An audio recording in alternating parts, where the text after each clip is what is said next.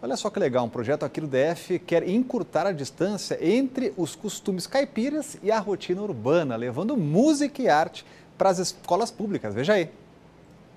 Para quem veio do interior, as cantorias, danças de roda e cirandas caipiras representam saudosismos de outras épocas e lugares. A música que emociona a gente, no fundo, é aquela que, que bate no coração. E às vezes ela está relacionada a momentos, ela está relacionada a lugares que a gente viveu ou morou, pessoas que foram nossas companhias, nossos pais, nossos amigos. Na capital do país, se manter conectado com essas tradições nem sempre é fácil.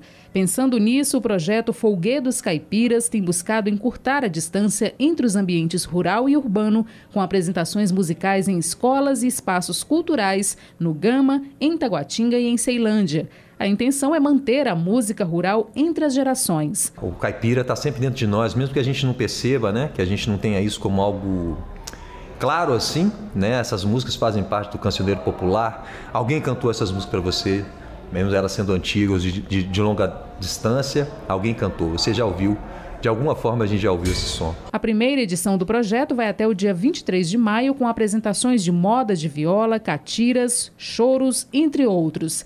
Cada apresentação dura 45 minutos, respeitando a agenda de atividades escolares.